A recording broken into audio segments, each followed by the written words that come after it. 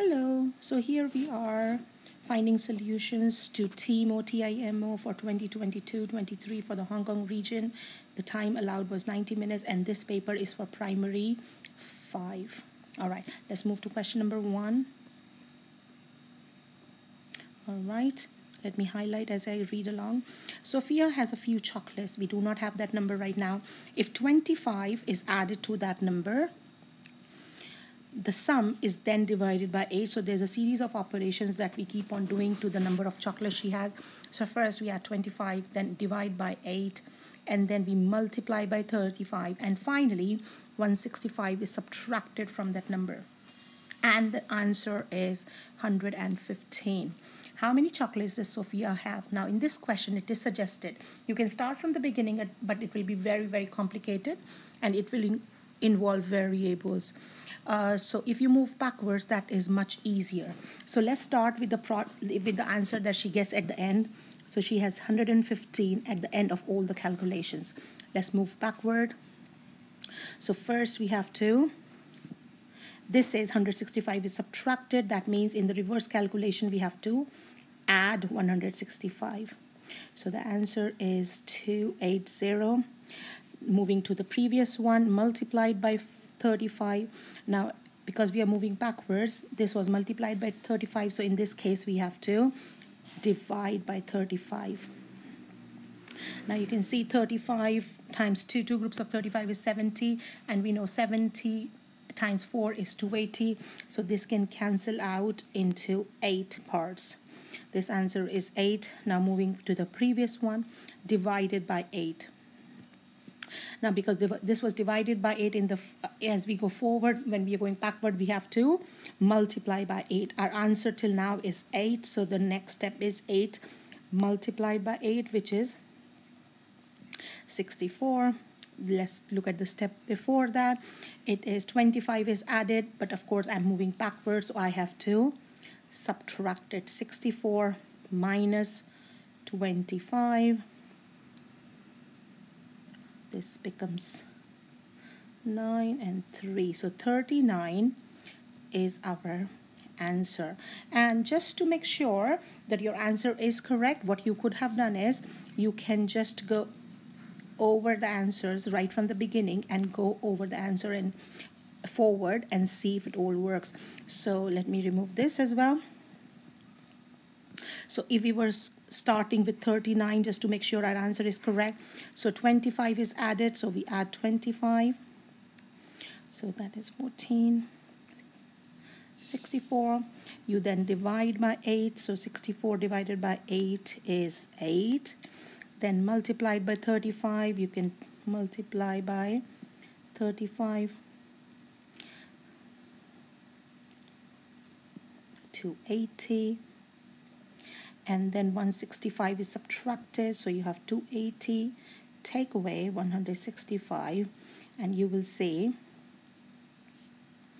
511 you did get 115 that was mentioned in the answer. So you have confirmed that your answer is correct. So the answer that we were looking for is in fact 39 all right moving on to the next question Moving to question number three. It takes Rachel's 25 minutes to finish a workout. He has to take a nine minute break after every workout. We have to remember after every workout is a nine minute break. And then he continues to finish another workout. How many minutes does he need to finish four workouts? Now, in order to understand how we know he's doing four workouts, but how many breaks does he need? You can do a simple one. So let me write down here. So he's doing a workout. Then he needs a break. Nine minute break. Then he does another workout. Then he needs a break. Then he needs a workout. And then he needs another break before he can do the final workout. Now we do know that he's finished four workouts. So he finished the workout here. He does not need a break to start another workout. So this is the part that we will stop on. So we can see that he has finished four workouts.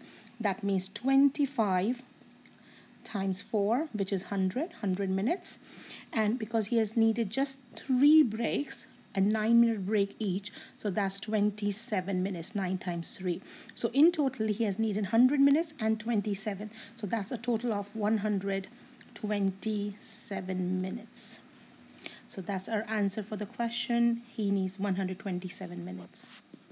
All right this is question number four. It required a little bit of working out so i cleared the space. Today is thursday 16th june. Which day of the week is 29th of December? So we have to, in order to work it out, we have to calculate how many days are exactly there between 16th of June and 29th of December. As we all know, if 16th June is Thursday, that means exactly seven days from then, 16 plus 7 is 23. 23rd June will again be a Thursday. Another 7th, 30th of June will another be will be another Thursday. So if we can count how many days are there in between and then think about how many weeks has passed in all this time, we'll be able to work out what day is it on 29th of December. So let's lay out. So this is June running, then it will be July, August, September, October, November, and December. Now, because uh, let me mark the months that will have 31 days. So this here, here, these are the months which have 31 days. All other months written here have 30 days. So let's now work out how many days are passed in between the two days. Because it's already 16th of June running so that means this month has 30 days. That means only 14 days are remaining in the month of June. July whole July is remaining. That's 31 31 days in August. 30 days in September. 31 days in October. 30 days in November and December we only have to think about till 29 December so only 29 days now when you add these days up, all these numbers up, you can do a column method. It turns out to be 196 days. Now, in order to find the, the day, we need to divide this by 7 to calculate how many weeks has it been.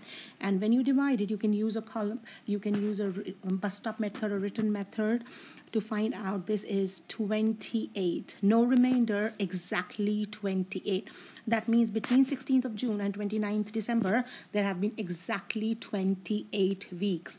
If there have been eh, exactly 28 weeks that means we started on a Thursday and that means on 29 December we will also end on a Thursday. So the answer to this question is a Thursday. All right, we are on to question number five, and this requires a lot of visualization to work out the answer. Given there are 25 different classes, at least how many students do we need to choose so that we can guarantee at least three of them cho are chosen from the same class. So remember, we have 25 different classes.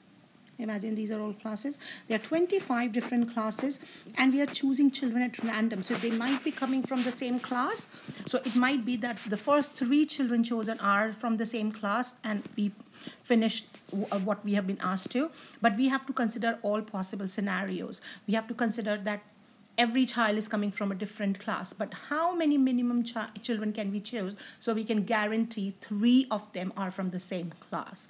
All right now before moving to two let's choose how many students do we need so that we can guarantee at least two of them are from the same class. Now if i choose because there are 25 different classes if i go on to choose 26 students now, they might very well come from the same class already, all of them, and that solves my issue. But in the worst possible scenario, if they're all coming from different classes, one one child from each different class, but since there are only 25 classes and we have chosen 25 students, that means there is a child from a repeating class. That means we have chosen a child from the same class before and we had to come back to that very class to choose the 26 student.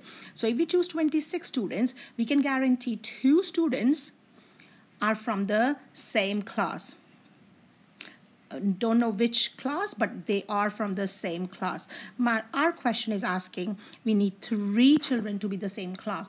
That means we have to go another round 25 in the first lot one child from each class this is the worst possible scenario uh, one child another group uh, from the other classes that means 50 but if I go for 51 students if I go for 51 students and again in the best possible scenario there are more than three children from the same class but we have to guarantee. So that means out of 51 20 because there are 25 classes 25 must have come if all the students are coming for different classes. The next 25 of course they have to come from different classes. And the next one has to come from one of these classes that were chosen already. So there is one student at least which has appeared here in the second count and here as well.